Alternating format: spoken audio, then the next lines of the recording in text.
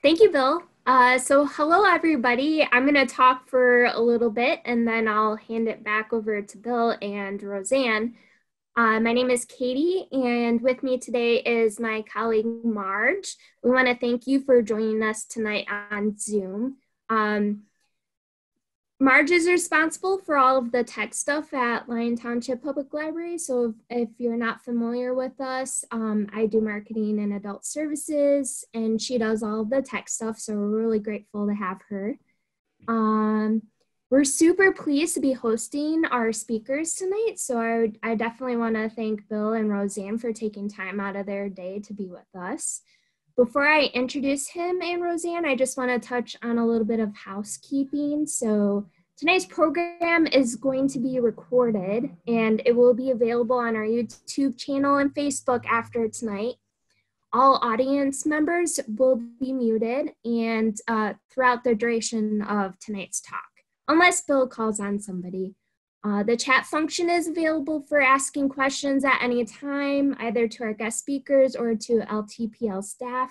Marge and I will be monitoring it. Please keep respectful in your communications in the chat and anything considered disruptive or counterproductive may result in removal. I just wanted to let you know that. Bill and Roseanne will answer questions posed in the chat from the audience throughout the presentation when they take the breaks.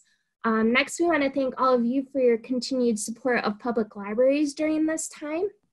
Our communities benefit from the shared resources that libraries provide in person and online, and we're thankful for all of our friend libraries that shared this presentation with you, especially if you're not from Michigan, so thanks. We'd like to welcome you to join us for our first ever virtual book club meeting, and that's tomorrow at 7 p.m. Registration is required and can be found on our website at ltpl.org in the event calendar. And Marge will also be one of the moderators for the book club too, so you'll see her there as well. Lastly, we'd like to encourage you to join us for our annual summer reading program. Registration details will be announced very soon, so stay tuned. And we'll be introducing an online reading tracking system called Read Squared along with alternative means of participating. And our summer will also be full of fun events for all ages, so we hope to see you throughout the summer. Uh, and just in case, I just want to let you know if we do experience any disruptions, just to bear with us. Uh, if we have to do some troubleshooting, it's our very first virtual program. We're very excited to be here doing this. So thanks so much for your patience in advance. Now I would like to introduce our speaker, Bill Rapai, award-winning reporter and editor in the past, current president of the Grosse Pointe Audubon Society, and published author of three nonfiction books, including 2013 Michigan Notable Book, The Kirtland's Warbler. And I'll turn it over to you, Bill. Thank you so much. Thank you. So Marge, I need you to uh, enable the uh, screen share so I can uh, take the uh, take control of the screen there. Okay. And um, say when. Actually, hold on just a second here. I did the wrong button. Hold on. No worries. Uh, there we go. You got it? I got it. There it is. All right. Oh, um, good evening, and thank you very much for joining us. Um, once again, my name is Bill Rapai. I'm president of Grosse Pointe Audubon Society, and joining me this evening is my friend Roseanne Kowalczyk, I'll let Roseanne in, in, in um, introduce herself while I go close the window because somebody's mowing the lawn nearby. Hi, everybody. Uh, I'm Roseanne Kowalczyk, and I've been birding for a really long time, ever since I was a teenager.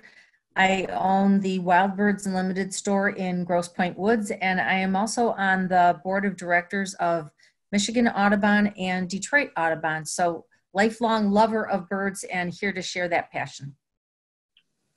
So, um, birding, as you probably have have heard by now, because everybody's kind of talking about birds, uh, birding is having a moment because we're all kind of stuck.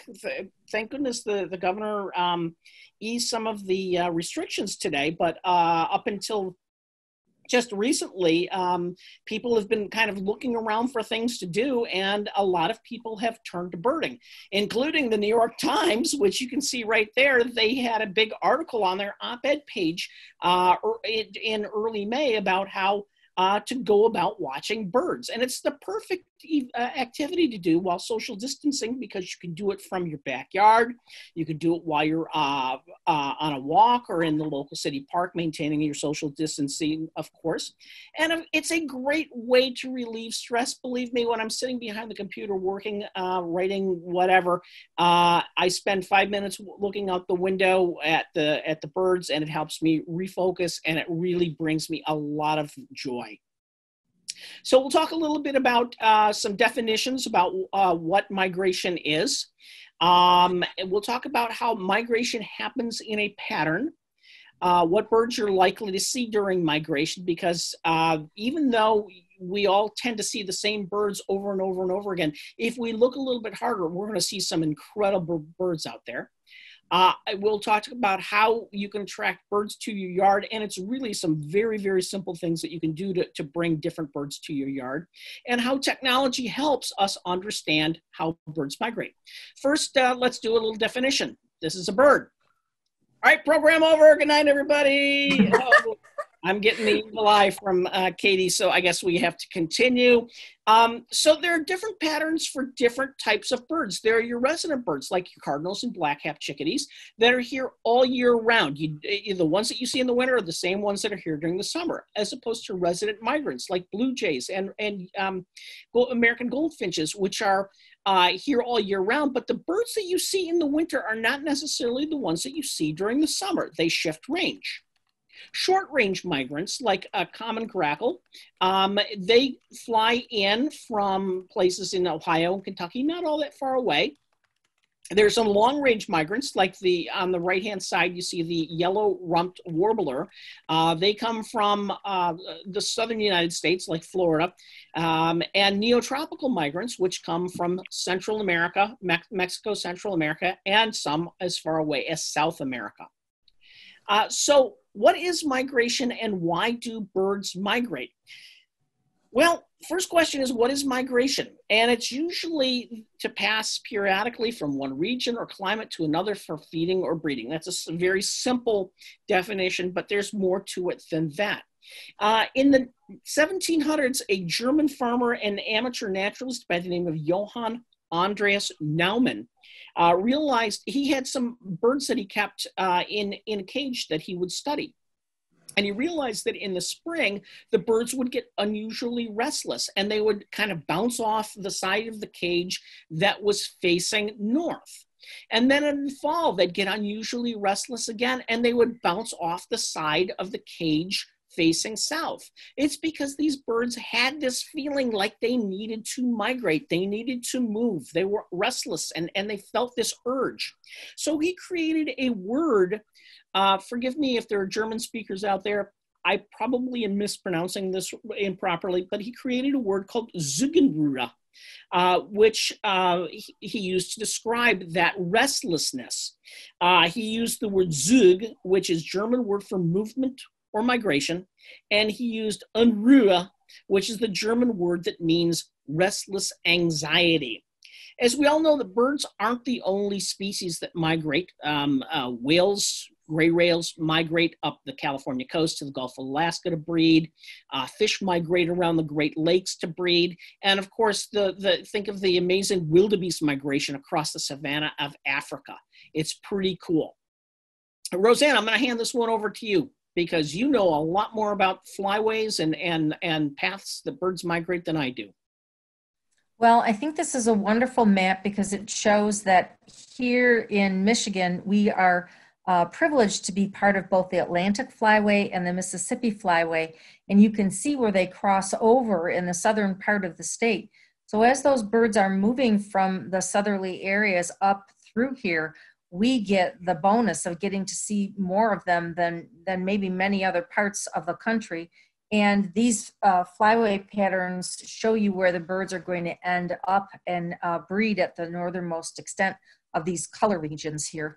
Um, this is one of the reasons that the Great Lakes and the health of the Great Lakes are very important and that we have such good, uh, you know, important bird areas such as Lake St. Clair. So, the how of migration, nobody really knows for sure why birds migrate. We we speculate that they do it for young, of course. And um, when you think about birds that that breed in the tropics, they generally have a, a clutch side of two to three birds. But birds that travel all the way to um, the northern hemisphere, far reaches of northern hemisphere, and return back to Central America or Mexico or South America, uh, they generally have clutch sizes of four to five birds. So we think that they do it for food. That they're moving from areas with declining resources to areas areas with increasing resources. And we, we know how many insects there are in places like northern Michigan during the, the summer months. Um, so, how do birds know when it's time to move? Again, nobody knows for sure. There's this general restlessness. We think that the birds are uh, get a sense that it's time to move simply based on the angle of the sun, um, and that's what sends them off we also know that birds are very, very sensitive to the weather. Obviously, if you're in the southern hemisphere someplace and it's uh, April in Michigan and it's snowing, the birds really don't know what the weather is here when you're, you know, in the middle of migration. But when they do arrive, they're sensitive to the weather in that they don't want to fly into uh, a really strong northerly uh, winds. So they will pause for a few days in, in places and wait for that wind to shift and use those winds to push them along. Migration tends to be uh, pretty orderly. First, the short distance migrants arrive. Um, uh, here in southeastern Michigan, we start seeing red-winged blackbirds and common grackles the last couple of days of February, the first couple of days of March. And then the winter birds leave. And when we talk about the winter birds, we're, we're talking about the uh, dark-eyed juncos that are generally in the area. Uh, then the long distance migrants arrive. Those are the birds that come from uh, the southern United States, species like killdeer and the yellow rumped warbler again. We know that most migration happens at night. Uh, we don't really know why. Speculation is, of course, because there are uh, fewer. Um, it's cooler, of course, but there are also fewer raptors, fewer fewer um, birds that will eat other things that will eat other birds at night uh, those migrants are safer. We know that the older males come first and the younger males and females follow. So if you were a bird that was hatched last year, you probably are late to the, the breeding grounds and you get to the breeding grounds and you say, oh man, all the best places are taken because those old guys beat me to it. There's something to be said for experience. And we know that it's time to coincide with other events. And we'll talk about that in a couple of different places along the way. So, how far do birds fly? Well, some only fly a few hundred miles, common grackles and red winged blackbirds. Some fly thousands of miles all the way from South America.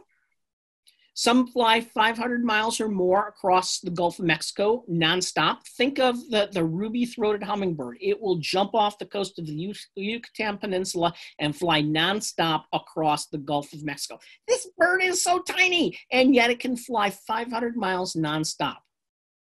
Some birds fly from New England, South America nonstop in the fall. I'm, I'm thinking specifically of the, the blackpoll warbler, which just amazes me that, you know, we're talking a couple thousand miles nonstop. And some birds may fly 500 miles or more in a single day if they have a great uh, wind pushing them along. Of course, we all know that there's danger along the way. Predators. There, there are, um, uh, you know, animals out there that are ready to eat these migrating birds. They, they could run into storms. They could strike tall buildings, communication towers, wind turbines, and cats. We all know that cats are, are uh, just terrible for birds. Uh, it's estimated that cats kill as many as a billion birds every year. And that terrible picture that you see on the right side of your screen is actually birds on the deck of a cruise ship that was in the um, um, Gulf Stream in the Atlantic Ocean off the coast of Georgia a couple of years ago. Um, the birds were migrating at night. They got confused by the um, the lights of the ship, and they ended up crashing into the ship. Many of the birds, unfortunately, did not make it. So it's a dangerous kind of thing. Uh, Roseanne, I'm going to turn this one over to you since you're the certified bird feeding expert. What do birds need along the way?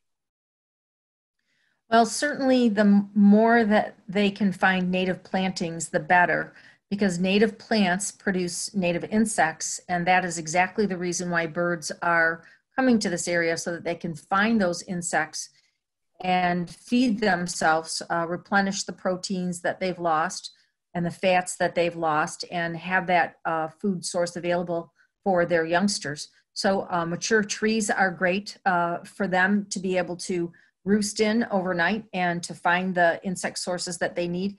And um, yeah, the plants that have that vertical structure are going to be what they're going to see. They're going to be coming into the bigger trees, looking for the understory as well, because the understory is protective and full of food sources as well. So the, the more natural that you can keep your yard or areas that you can involve the community in, the better for birds. So what have we seen so far? Roseanne, you want to talk a little bit about what birds we've seen so far in migration?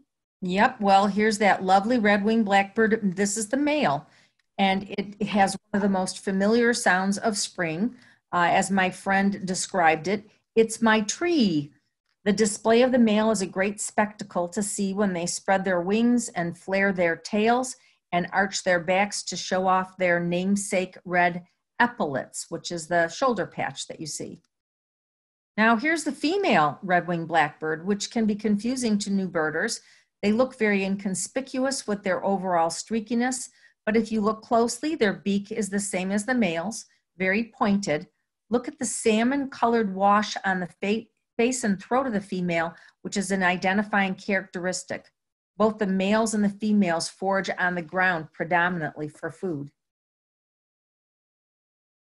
I love this picture of the common grackle. Uh, it's beautifully iridescent with a striking yellow eye set against that dark face and a very long and strong looking beak. They arrive in great numbers in the spring and are opportunistic at bird feeders where safflower seed is a good plan to keep them away as that's not what they prefer and they have a difficult time removing that shell. Their display is also quite remarkable. Groups of males will feed together and one will get the urge to show off with its head held high and its wings spread as it gives a loud and harsh guttural sound which only the females of the species can appreciate. This is our earliest arriving shorebird, the killdeer, and it's named for its call. They can often be heard calling at night as they arrive back in Michigan in late March. That is the peak of their migration. They're known for their broken wing display, which is used to lure potential predators away from their nest or their young. Because they nest on the ground, they can often come into conflict with humans who want to use the same spaces, such as playgrounds. This is a wonderful picture of the wood duck. It's so striking that its colors seem to be unbelievable. As Pete Dunne, a very notable birding expert, has said, it's a fortunate world in which a bird this beautiful can also be so common and widespread. Pairs choose their mates on their wintering grounds and then migrate back to this area as a couple. Wood ducks nest in tree cavities and will use nest boxes that you place out for them. One of my most memorable sightings of a wood duck was when I was watching a barred owl and it went inside of a tree cavity, emerging minutes later with a dead male wood duck in its talons. Red-breasted mergansers are primarily Arctic breeders, which is why they pass through so early. They have a long way to go. This is another bird with an amazing courtship display. The male stretches his neck up and then thrusts it forward, abruptly bowing and then lowering its breast onto the water, opening its bill as if it is gasping for breath and repeating that display several times.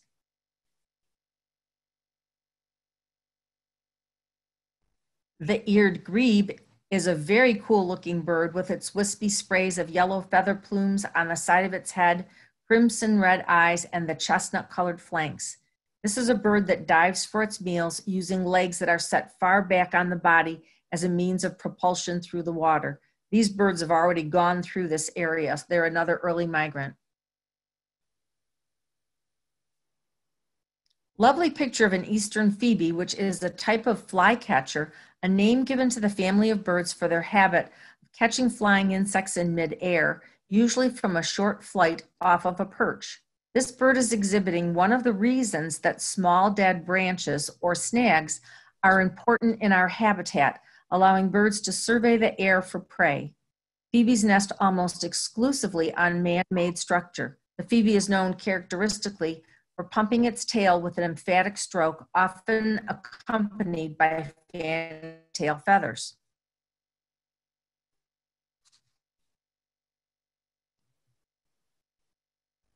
Here's a male on the left and a female on the right cowbird, brown-headed cowbirds. They were once a native of the prairies, but they've expanded their range as we opened up the eastern forests.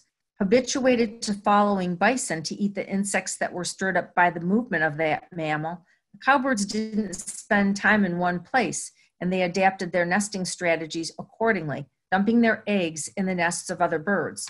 Now that they are widespread, in the eastern United States, this nesting strategy is having a huge impact upon warblers, thrushes, and other species. Cowbird eggs usually hatch first, and the young are lar- larger, which crowds out the young of the host species and sometimes scoops them out of the nest. Oops. Yep, great picture of a oh, red-tailed hawk. And even though southeastern Michigan isn't really known for uh, spring migration of hawks, it's one of the best places that you can see fall migration of hawks. This time of year, uh, the red-tailed hawks and Cooper's hawks are already paired up and mating and um, got their young in the nest and taking care of squirrels in the neighborhoods and some of the uh, smaller songbirds um, that the Cooper's hawks feed to their to their young. Uh, there is a part of Michigan uh, at the Mackinac Straits that is known for red-tailed hawk migration and has the has had the highest count of red-tailed hawks during spring migration of anywhere in the United States. This little bird is called a brown creeper, and it is aptly named because it creeps along the trunks of trees, moving upward in a mannerism that could be called mouse-like.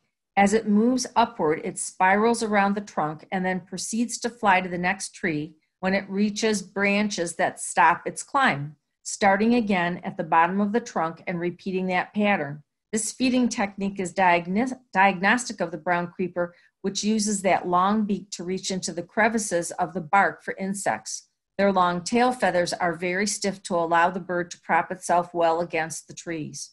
Well, here's a bird everybody knows the American robin. Um, robins have a tendency to stay in southeastern Michigan uh, more than they usually did. And this is probably uh, as a result of the type of fruiting trees that we have planted and changes in the weather. Those birds that stay are first here on nesting territory, and so they get the best spots to be able to offer to the females. However, of course, there's always that group of them that migrate south and then return back in great numbers. This little guy is called the golden crowned kinglet, and it's been described as a little dumpling with a tiny bill. And I think that's suitable for this little four inch bird that weighs less than an ounce. Golden crowned kinglets eat insects exclusively and use some interesting feeding techniques, including hovering at the tips of branches and foraging upside down. This bird is often located first by its call, which is a soft CC the crown feathers are erected when the males are in display mode and show a red patch that's in middle of the golden crown. This is the ruby crown kinglet, which is a plainer version of its cousin, a bit more hyperactive with more wing, wing flickering as it feeds. Can you tell that it's just like a quarter of an inch longer than that golden crown? Kinglets are birds that we see in migration and not during the summer as they are headed to northern Michigan and further to breed. Great pictures here of blue-gray gnatcatchers. They're more slender than warblers and have diagnostic white outer tail feathers, which are noticeable as they swish their tails about. The white eye ring gives them a startled look. Gnatcatchers never stop moving as they hop along branches in their search for insects, hovering to pick insects from a branch or dart from the branch to catch a flying insects. Their vocalizations are very wheezy. And now I have to stop and let Bill tell his joke about them. I'm sorry. I'm sorry to inflict this on you. Um, so, do you know how? Did you know that the blue gray gnatcatcher is the most efficient bird in the world at catching its prey? Have you ever seen a blue gray gnat? okay, I'm sorry. Go ahead, Roseanne. Okay. Our next bird, somebody had mentioned that they had in their yard, brown thrasher, a very aptly named bird as it forages on the ground for food, thrashing through leaf litter in search of insects. Thrashers will also eat fruit.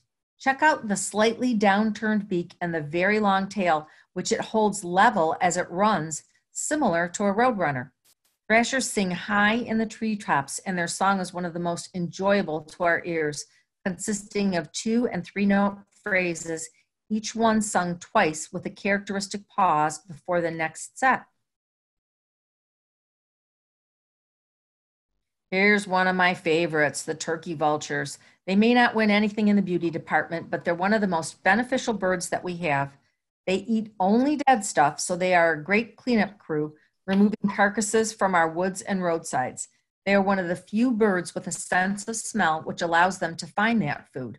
A turkey vulture can be told in flight easily as it holds its wings in a dihedral and has a very tippy flight, not straight and strong like raptors such as eagles and larger hawks that are similar in size. When turkey vultures feel threatened, they projectile vomit toward the approaching threat, so don't walk towards them.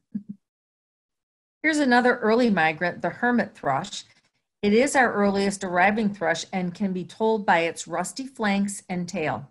It's the only thrush that winters in the United States, which means it has less of a distance to migrate and therefore arrives on the breeding grounds first. As you watch its behavior, observe how it quickly raises and lowers its tail, another field mark.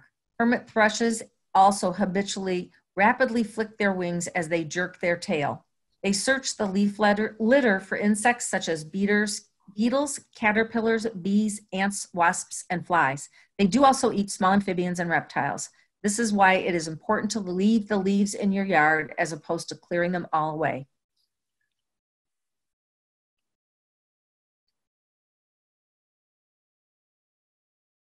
The eastern towhee is another early migrant that feeds on the ground in leaf litter, scratching vigorously with their feet to uncover insects and seeds. The tricolored pattern of the species is bold and very distinctive. The female is brown in places where the male is black. Towhees are shy birds and are rarely found far away from the cover of trees or bushes, so think about that when you're landscaping in your yard. The song of the eastern towhee has been described as the bird singing, Drink your tea, so Bonaparte's gull is the first gull that arrives in the spring. Um, it's a migrant out of the Great Lakes, of course. Uh, it winters in the southern United States and summers in the boreal forests of Canada. And believe it or not, this guy actually nests in trees. Um, you didn't know that gulls nested in trees, did you? Um, they'll fly past in, in loose groups. And um, when they come back in the in the fall, they're going to look very, very different. They're going to have a completely white head with just a little black spot behind um, the eye. So perhaps you can find them on inland lakes, including that lake that's right behind uh, the library uh, in Lyon Township. Great blue heron, of course, it's really not that much of a migrant because there are winters when it stays all year in uh, southeastern Michigan. Um, we can find them here as long as there's open water and food for them to eat. But they return in pretty large numbers in early March, and it's familiar to all belted kingfisher. Now, most species, in, in most species, the male is more colorful than the female. In the belted kingfisher, it's the opposite. This is the female, and she has that belt across her breast that the male does not have. It's another short distance migrant. It'll only go as far south as open water. Um, and it's also like um, a couple of the other species that we've talked about, you're more likely to hear it before you see it because it kind of has this rat-a-tat call uh, that you will hear before likely you see it fly in. Um, they nest along riverbanks and uh, high banks of, of lakes, so they will actually fly into a, a, lake bank with their bill and their head and knock, make a hole that goes in about 15 feet in order to build a nest. Uh, it, they're, I think, belted kingfishers are super cool birds. Um, the swallows and purple martins also begin to arrive as the insects come out. Um, and they come uh, from Central and South America. First, the tree swallows arrive, and the tree swallows uh, will eat insects, but they will also eat vegetable um, uh, things like fruits. Then the barn swallows and the northern rough-winged swallows and the purple martins arrive. Uh, you know how I said that the, that um, arrival and certain events are timed to insects, uh, to other things?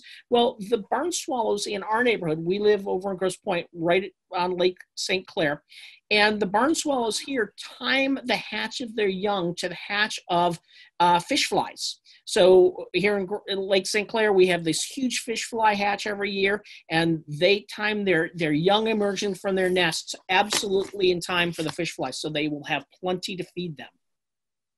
Barn swallows winter in, in Central and South America, and purple martins winter in South America and nest from the Gulf Coast all the way to the northern parts of the Great Lakes.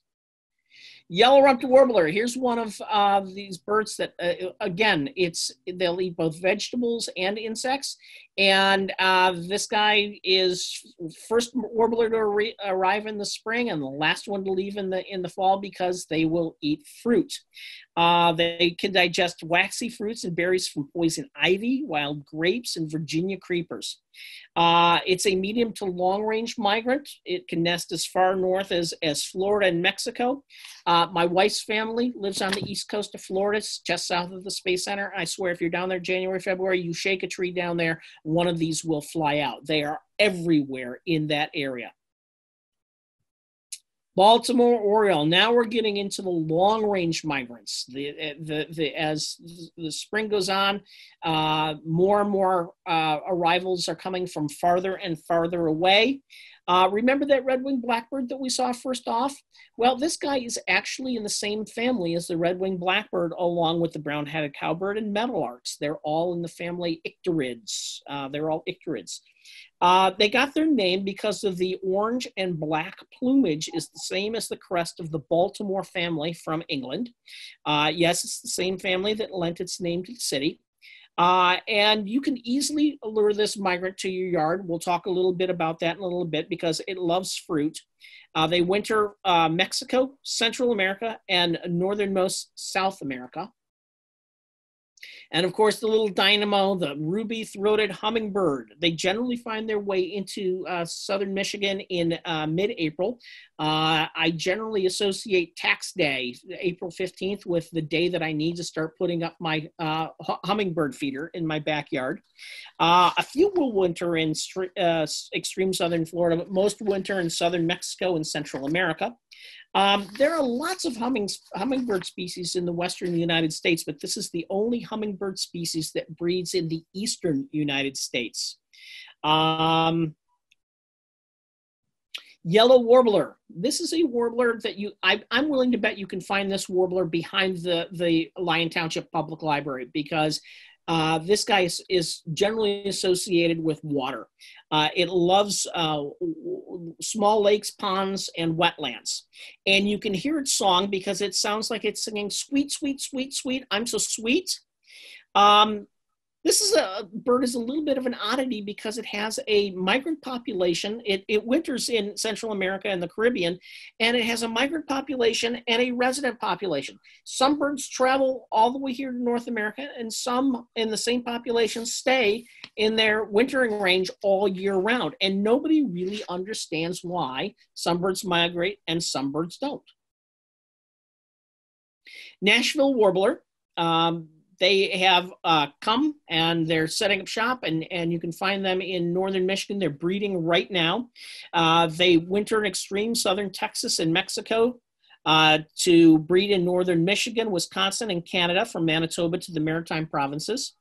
Um, it only has a tenuous connection with Nashville. It, it's not like it sings, you know, country songs or anything. Um, it was actually named for the location of where it was discovered and named. So there are a handful of birds out there that are named after where they were discovered: Cape May warbler, Kentucky warbler, Tennessee warbler. Uh, yeah, those are all the same naming, um, the way they were named.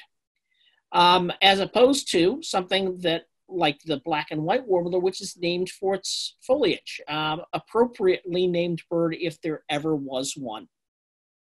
Uh, its wintering grounds are in Florida, Mexico, Central America, and South America. Um, most warblers tend to feed at the crown of the trees or out on the tips of the limbs. This guy likes the, the larger limbs and the trunks.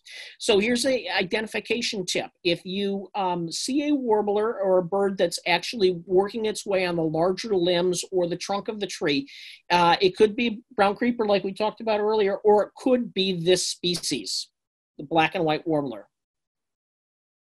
American redstart. What a gorgeous little bird with that black and orange color pattern. Uh, they winter in the Bahamas, Cuba, Central America, and South America, and they breed in large areas of eastern North America. I had one breeding in a neighbor's yard just two years ago. Um, and you can attract them to your yard in the fall in particular because they like to eat small fruit like serviceberry. Um, and I don't know if anybody out there is really familiar with bird calls and songs.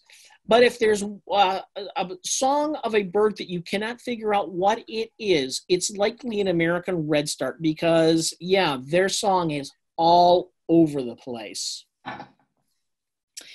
Uh, other thrushes, the, the, the, the wood thrush, Swainson's thrush, her, uh, are they've arrived. They come later than the hermit thrush, which is the first one to arrive these guys blow me away because they have they can sing a duet with themselves believe it or not.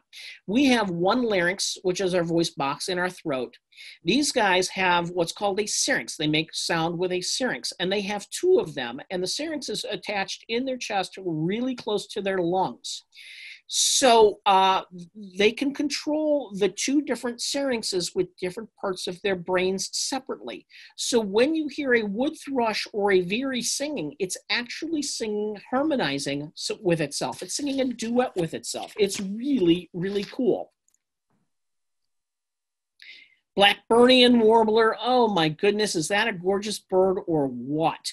But if you ever see one in real life, you will just drop your jaw to the ground and have trouble picking up your teeth because they are just that gorgeous. The picture does not do it justice. You get one in the sunshine, it's like, oh my goodness, look at that glow of those orange feathers. Um, so these guys winter from Central America and uh, south to northern South America, and they breed in northern Michigan, in southern and southern Canada, from the Maritimes to Manitoba. Just a gorgeous, gorgeous bird. Eastern wood peewee. They are among the latest migrants to arrive. I had one just last week. They sing for like one week and then they they hush up, and you would never know that they were here. You you listen for them. You hear a, a uh, sort of a hoarse wee, and that's it.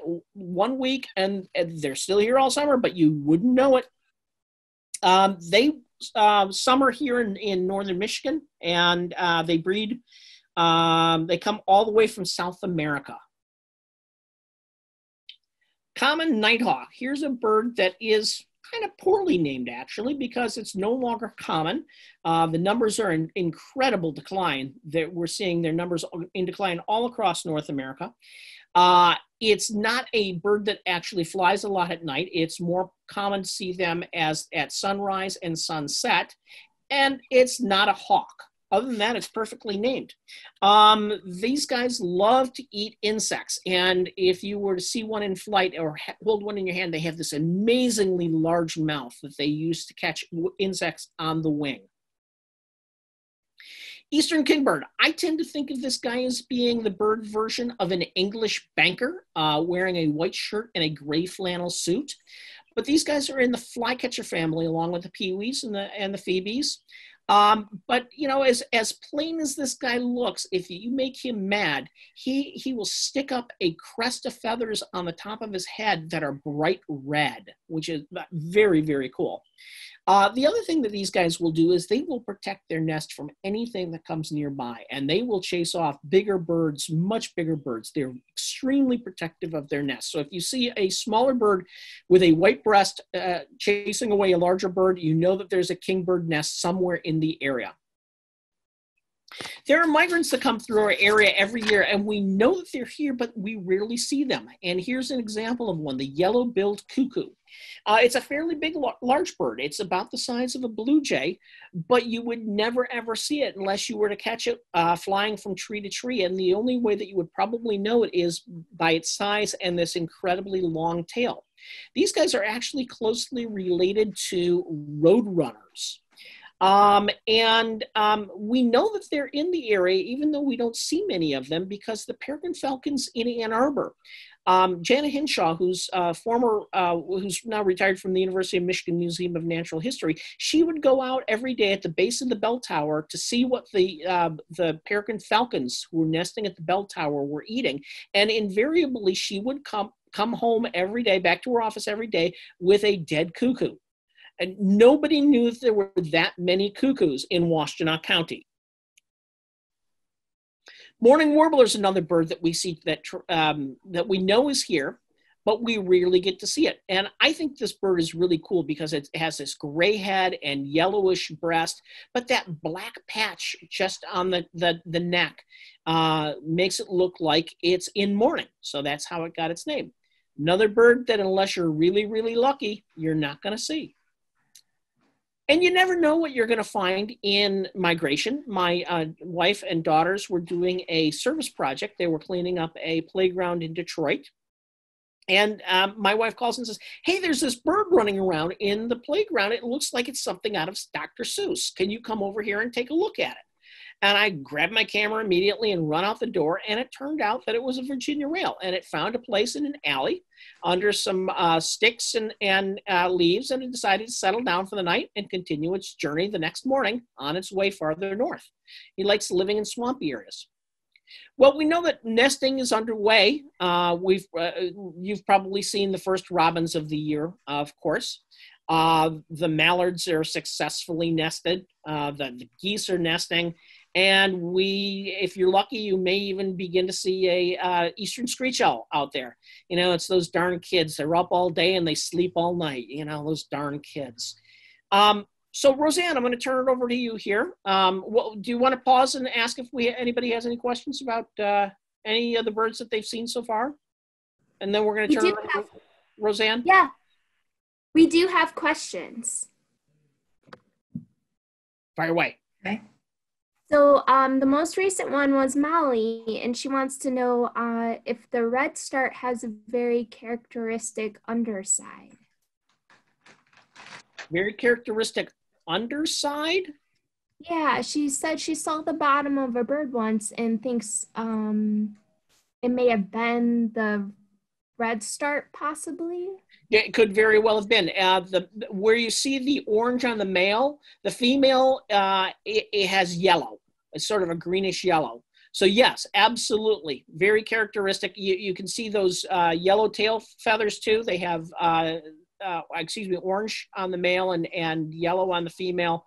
So yes, absolutely characteristic. And you see that and you know it's a red start. There's pretty much no other bird that it could be. Roseanne? Yeah, I agree. So um, Next question is from Rebecca. She has a lot of geese and wants to know how to get rid of them. That's that is a, a, a question that uh, lots of people ask. Um, so Rebecca, do, do, me a favor and a- answer this question for me, uh, and we'll answer uh, later on. But I have a question for you. Um, do you live in an area where there's like a pond or um, uh, water you know, that's standing water that kind of um, has grass all around it. So um, uh, write the write the answer, Katie, and we'll answer it at the end of the uh, program. Okay. Okay. Do me a favor, um, describe it a little bit more. What you, what where you live. Any other questions, Katie? Oh yeah. Um, is it possible for you to share the PowerPoint so that any of our attendees um, can have access to it after. Hmm. You're recording this, so yeah, you're recording it. Share the recording. We'll yeah. have the recording for sure. Yeah. Yeah. So, Yeah, yeah, we're recording this and we're gonna put, um, probably tomorrow, I'll, um, email all the participants with the link to the recording. And, um, you'll be able to access it that way. Yeah, it's probably the best idea. Okay. I'm a little hesitant to give up my work. Understandable.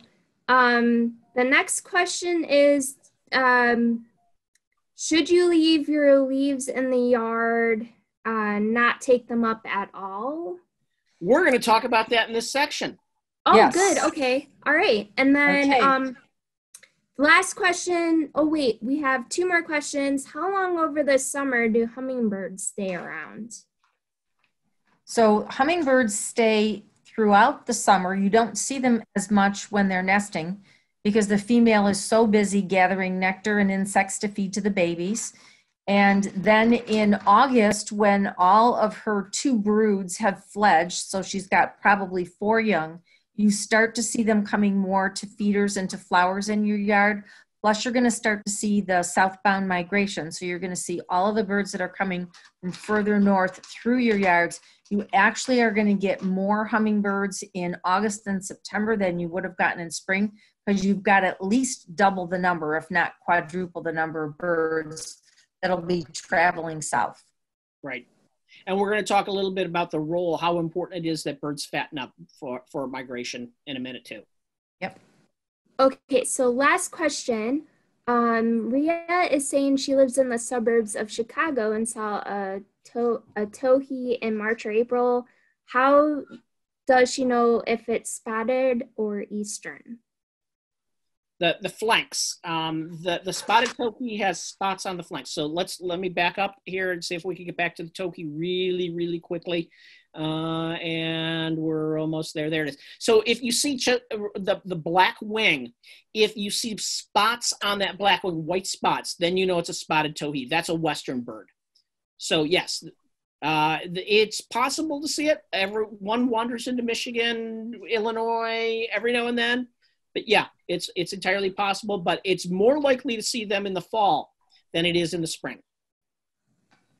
All right, thank you. We're all caught up. Okay. All right. I think we next we were going to be talking about what we can do to get these birds into their yard, into our yards. And again, I'm going to go back to native plantings. The reason these birds migrate is to find the insect life that's going to support them through their migration, as well as support their young. And so planting native trees, just like we know about monarchs have host plants and they can't get by without those host plants, the same thing is true of uh, birds and the caterpillars that they eat.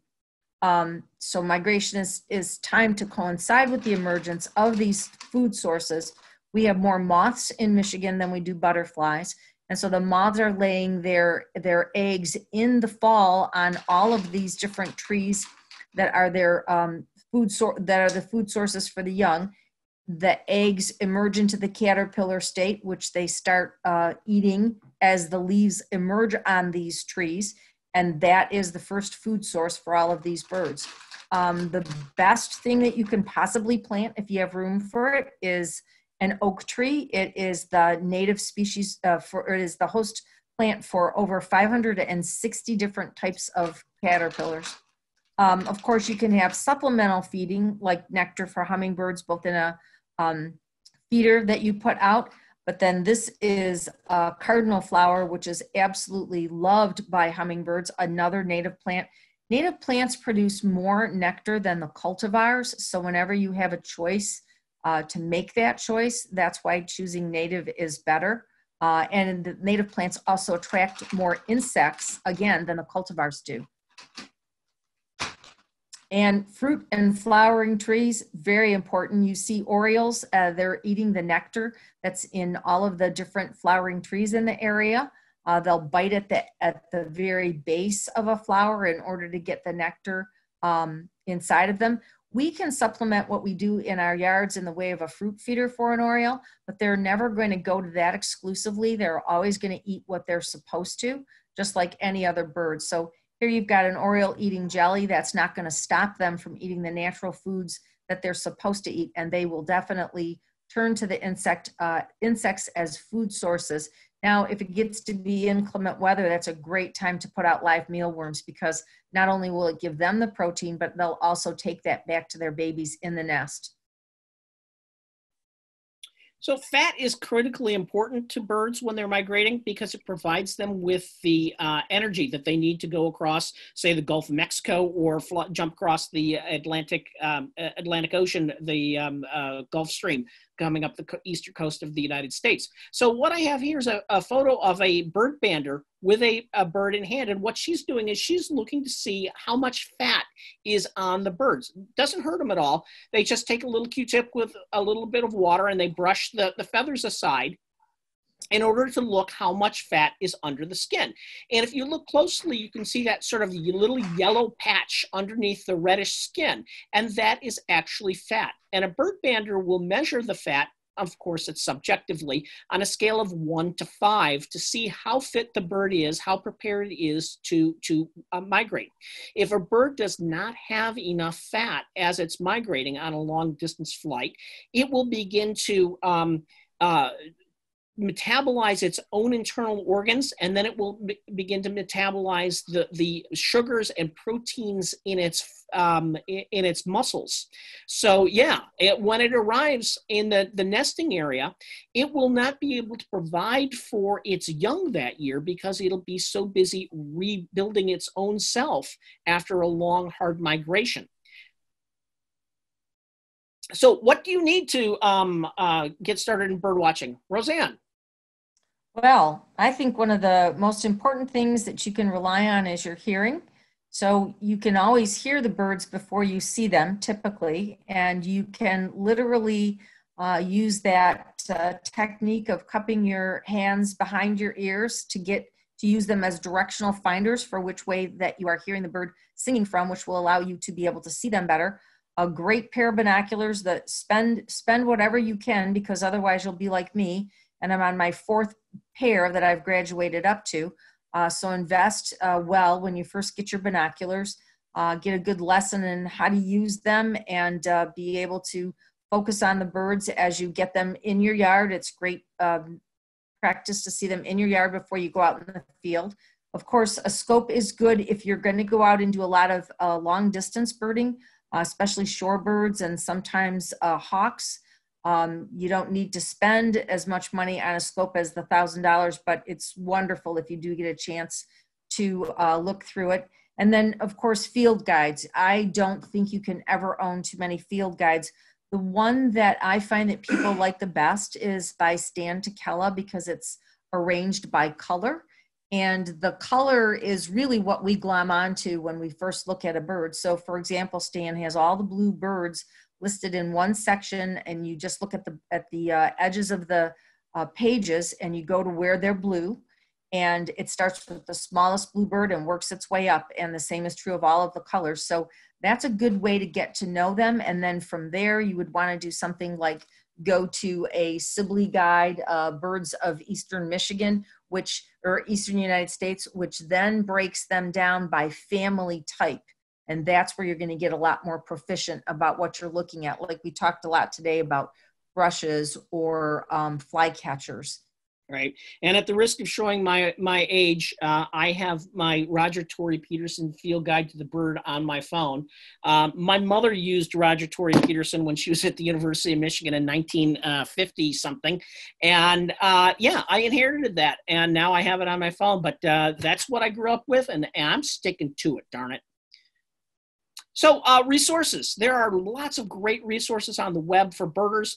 All about birds uh, the, from Cornell Lab of Ornithology is just a, an incredible um, uh, resource for helping you identify birds and also to um, learn more about their habits and their uh, habitat, where they live, how they migrate, etc eBird.org is a website from Cornell that will allow you to store your sightings. But the, the best thing about that is Cornell is going to use the data from your sightings then to monitor bird health across, not only across North America, but around the world. I use birdcast.info from Cornell, which helps to um, predict bird movements in migration. Um, migration's kind of petered out now. We've kind of, the birds have kind of all come, arrived yet. So, but in the fall, it'll begin to pick up and it will give you an idea when the birds will be migrating and, and which portions around the country. Um, and of course, the, there's a terrific um, uh, resource in your Wild Birds Unlimited store because they know birds, they know how to talk about birds, they answer your questions. Um, and if you want to, you know, contact Roseanne, please feel free to do that. She's happy to, to be a resource for you. We're using technology to help unlock bird movement and, and more knowledge about birds. Um, this to me just blows me away, forgive me. Um, what you're looking at is a picture of um, radar from Key West, Florida, the night of May uh, 5th, 6th, of earlier this year, last month. So when you see that sort of blue ring around Key West, those are actually droplets of water in the sky, but you see sort of a smattering of other colors there. There's kind of a, a coral color and, and a little bit of brown and stuff. Uh, those are actually birds uh, that are moving. But this is uh, about eight, uh, Uh, 8.14 in the evening. So we're going to put this radar in motion and we're going to watch the birds take off from Key West. Then we're going to watch them take off from Cuba and fly into Florida. There they go from Key West. There they go from Cuba and fly across the Straits of Florida into North America. All those are migrants that, that are being picked up by radar. I think that's just incredible. And we're using radar a lot more, but we're also using other forms of technology like Motus towers. This was a, a, device created by Bird Studies Canada. And what they do is they put a, a, small backpack on a bird that will, when a bird flies past a Motus tower, the Motus tower will say, oh, here's this bird. It came by at this time. We, we uh, gave this bird this backpack on this day. Uh, we've been able to track it in places X, Y, and Z. So we're, we're beginning to learn more about uh, bird movement through this really cool new technology. So uh, we've kept you here for an hour now. It's time for us to fly. Uh, before we leave, we want to remind you hey, the governor uh, says that we're no longer required to stay home, so we, we don't have to stay home necessarily, but we do urge you to stay safe, wash your hands, take, please, please, please continue social distancing, uh, plant natives, protect the Great Lakes, please, and local ponds. Please limit your use of lawn chemicals and other garden chemicals. So we're here to answer any questions. So um, Rebecca did reply and she said uh, regarding her question about how to get rid of geese, she said there's grass banks, reeds around the pond near her, and swans usually keep the geese down, but hasn't this year. Right. So, uh, unfortunately, what we're doing unintentionally is we're laying out the welcome mat for Canada geese. Uh, we have a pond. We have this lovely uh, lawn that we've put out for them. Uh, we continue to pour nitrogen on that lawn, and uh, we're the the geese are coming in to eat all that that lovely grass. So we're just laying out the welcome mat for them. So, uh, a couple of things that you can do. One is you can let the lawn grow a little bit higher um, you can um, you know, maybe get a trained dog that will chase the geese away. Um, do that before they begin to nest, please. That way, you're not uh, you know having the the adults abandon the young. Um, and then um, there are other techniques that you can use, um, like a cutout of a coyote, and you can put that uh, out there. The, the, and but move it around regularly because if it if the birds see this cutout of a coyote, they're going to say, "Oh, there's a coyote there." Wait a minute, that thing hasn't moved in a week. We know that's not real, and they'll get habituated to it. It's like those people who put um, a great horned owls on on the roofs of of buildings and say, "Oh, it's supposed to keep the pigeons away." Well, the pigeons learn that it's not real.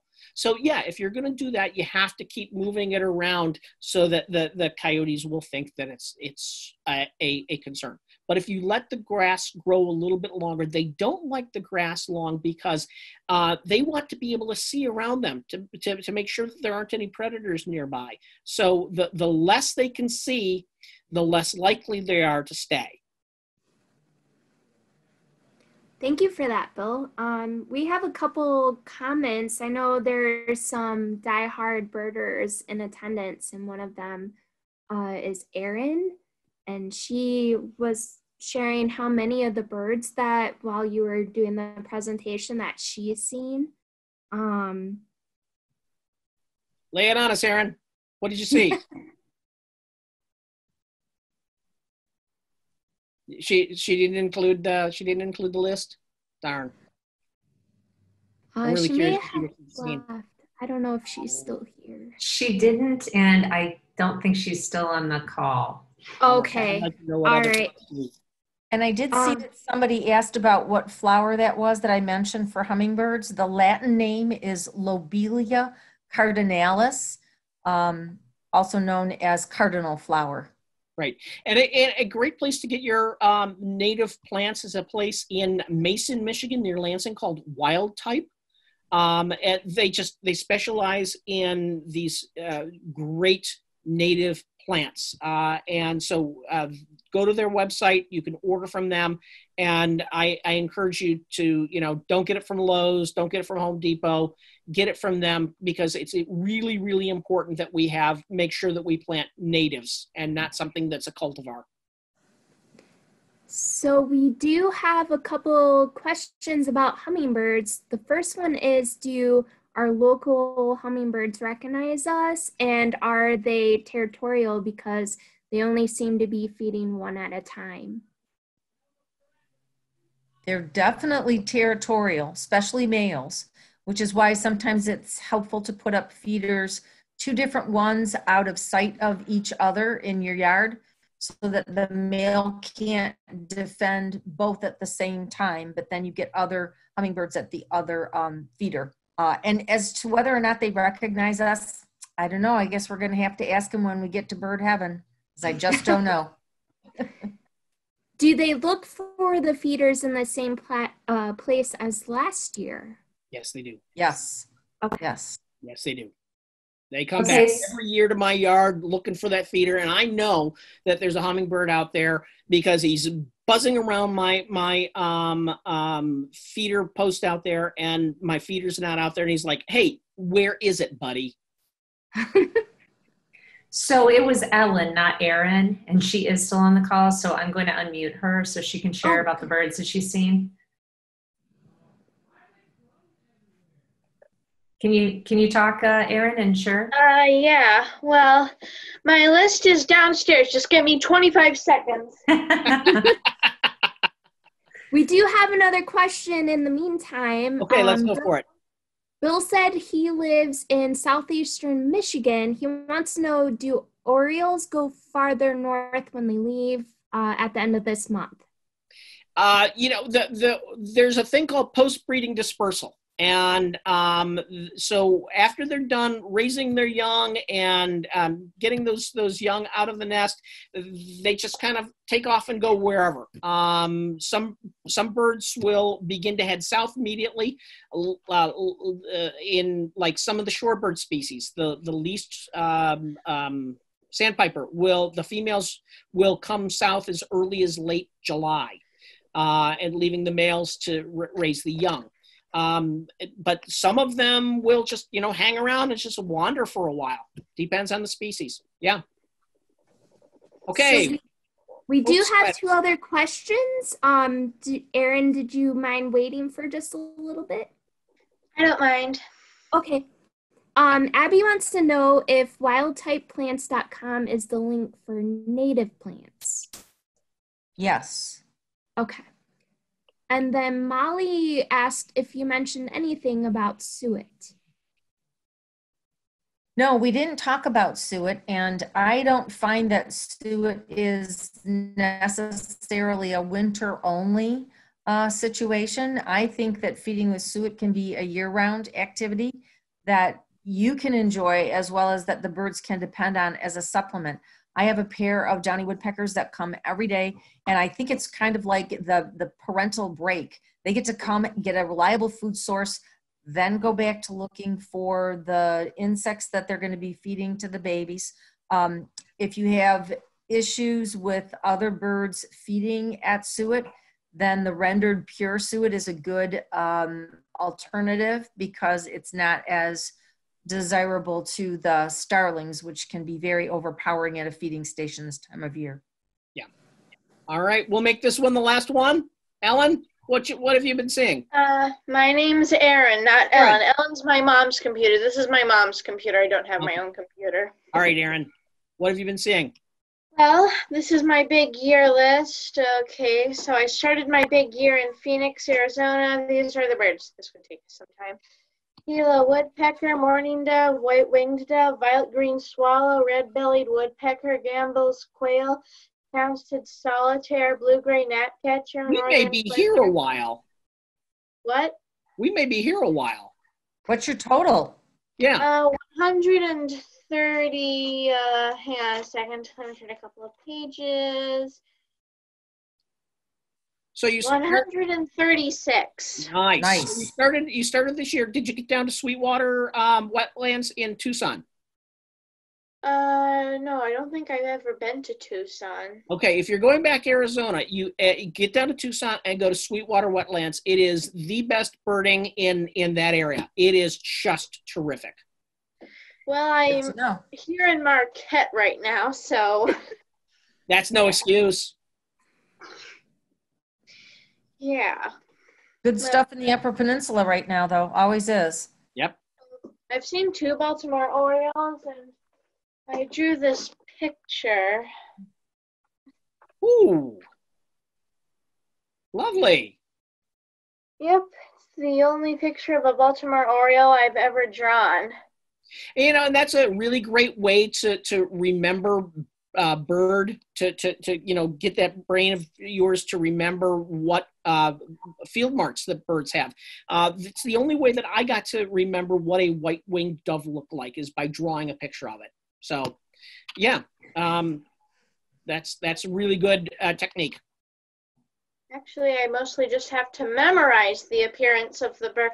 I don't have that many bird calls memorized, but I have a bunch memorized, mostly from the Cornell Lab of Ornithology. I also have over 10 field guides, including the Sibley one in the Birds of North America. I have an animal encyclopedia that I've had since I was a fifth grader. I'm in eighth grade right now. I'm almost done with it, and this is my second time doing a big year. Nice. Good for you. Well, Aaron, we don't want to discourage you, but we've been on the call now for more than an hour, and we promised that we would uh, cut it to, uh, you know, tr- keep it right in an hour. And so we've been talking too long, so we're going to say goodbye. That's okay. Thank you, everyone. Thank you. Thank you so much. Thanks, Bill and Roseanne. We really appreciate it. Yeah, thank you for making our first virtual presentation a wonderful one. We appreciate it. All right. Anything else? Stop share. Okay, there we go. Oh, That was the there lovely- were two more questions if you have just a little bit more time. All right, I'm ready. Okay, so Molly wanted to know if you have any tips for making homemade suet. Phew, boy, I don't. Uh, I don't. Sorry. A- And Okay. I, I don't either. My my my um, mother used to take bacon fat and um because she she liked the starlings for some reason. She used to take ba- bacon fat and and old stale um, uh, bread and chop up the bread and mix it with the bacon fat and put it out for the starlings. But uh, other than that, no, I I really don't. And then the last question was from Pat. Uh, wanted to know what the name of the nursery was. It's Wild wild, type. Okay. Wild Uh, type. it- it's on, yep, it's on uh, North Every Road in Mason. All right. All right, thank you guys so much. We really appreciate you taking the time to to share all this wonderful information about birding with us and the migratory patterns. This is And- amazing. And Susan, yes, the indigo bunting is a migrate is a migrant. Yes, comes from uh, South America and Cuba and places like that. All right, I'll shut up now. all right, everybody, thank you so much for attending. You guys have a wonderful night. Thank you. Bye-bye now. Thank you. Bye.